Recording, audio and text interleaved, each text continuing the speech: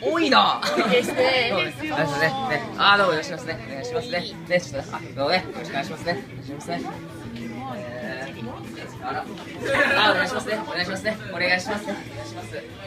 あどうも。ね。情報いいですね。そうね。これなんだろう？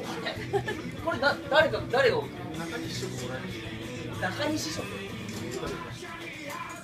え中西さんが起きたの？あ中西さん中西さんに食べてもらいたいみたいなこと。なんか僕が食べます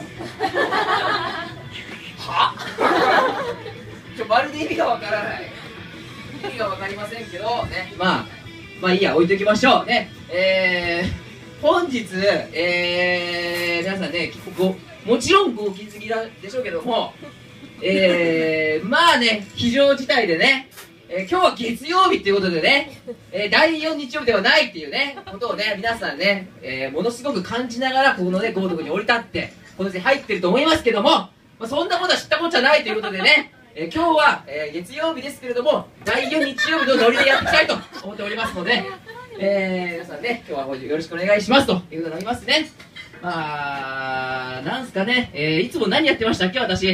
ね、えーエンジョイゲストのやつをやったりする前に、何らかの何かを、なんか、なんだろうな、昨日日曜日だったって俺、すごく思ってたせいか、今日やっぱ月曜日の体のトーンなのかな？なんかすごくあの、普通の人になってるんですけど、まあいいや、で、えー、まあちょっと、あれなんで、第4、なんとかって言っときます？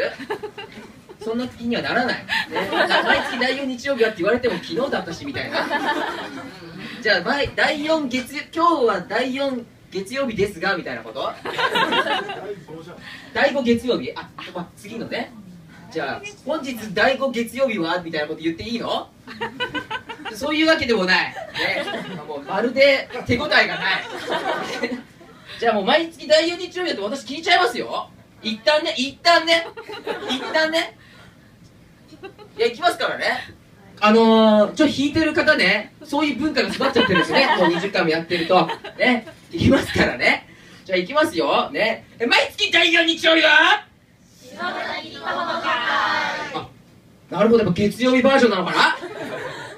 ちょっとね外でま寒いと思って待ってる方がいるんでね。もうちょっとね。もうちょっとね行きますか。もう一回。あ毎月第4日曜日は？ありがとうございます。ね。えー、ということでね、ちょっと続けていきたいと思うんですけど。